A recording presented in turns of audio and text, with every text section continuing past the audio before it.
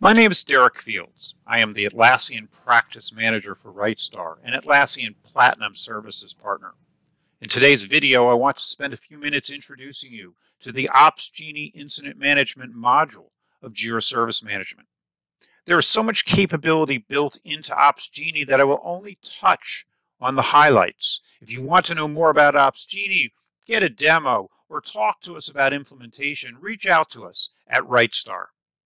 If you aren't sure of what Jira Service Management is, you might want to start by reviewing my video on the core capabilities of Jira Service Management. OpsGenie is a highly functional system to alert you and your help desk team when something goes wrong. The goal is to let your team know that there's a problem before your users even realize that there is a problem in your environment, reducing the number of tickets that you receive and keeping your customer satisfaction high.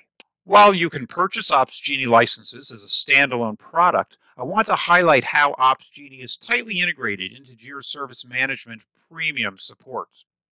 Let's start by looking at a typical Jira Service Management view. On the left panel, you can see the list of queues at the top. Under it, you can see the OpsGenie section, starting with Change Calendar and then moving to Services, Alerts, and On Call. This is your portal into Ops OpsGenie, and we're going to look at each of these one at a time.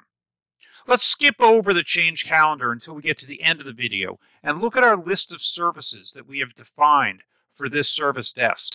As you will see, I have set up some generic services, database system, financial system, procurement system, and a web server.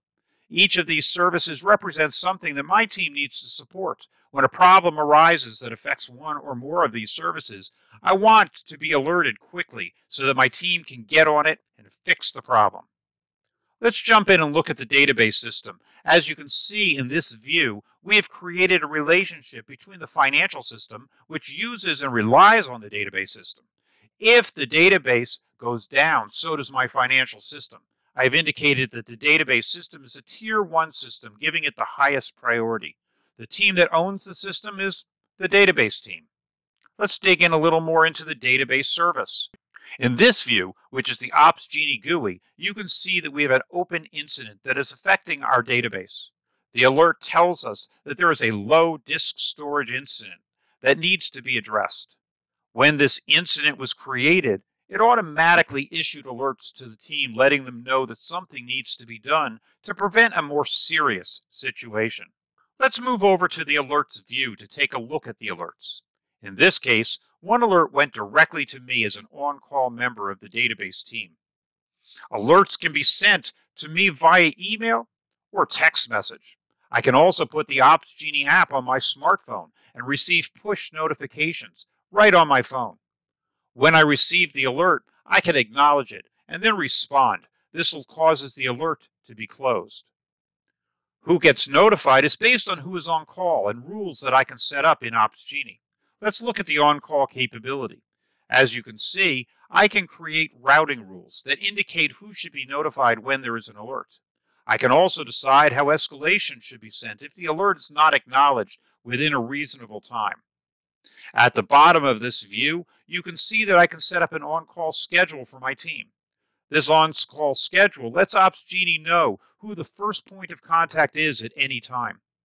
In addition, I can override the default schedule if there is a temporary schedule change, such as someone who is out of the office on a well-earned vacation. One of the most important capabilities of OpsGenie is the ability to create rules that help to deduplicate alerts. In this instance, I have created a rule that sees the alert disk storage low and assigns the alias low disk to it and automatically assigns it to the database team. This simple rule now catches a possible flood of alerts into a single alert that my team can respond to, reducing alert fatigue and increasing responsiveness. Alerts are just the tip of the capabilities that OpsGenie brings to your service desk. An alert or a set of alerts is usually an indication of an incident that needs our attention. Let's look at the incident view shown here. This is my disk storage low incident. You can see at a glance that this incident is still open. The timeline shows when the incident was first created and what has happened on the incident since that time. Now let's head back over to the Jira Service Management GUI where we are going to put a change request onto our calendar to address the low disk problem that we have been working. We click on the change calendar and we select the time frame when we are going to add more disk to our server. I've decided to do this between 7 a.m. and 10 a.m. on a Saturday morning. This allows me to create a new change request in my service desk project and puts it on the calendar so that everyone can see the schedule. This helps my team to reduce the risk of competing change requests during a maintenance window. Now let's resolve the incident. Having resolved the incident, I can now create a post-mortem analysis that will direct my team through a discussion of what happened, what we did well, and how we can prevent it in the future. After all, the purpose of tools like Jira and OpsGenie is to support our mission to continuously improve. Thank you for taking this time to take a brief tour of OpsGenie. If you would like an in-depth demo or would like to discuss how OpsGenie can make your service desk team more efficient and boost your customer satisfaction, reach out to us at sales at rightstar.com or visit our webpage at rightstar.com.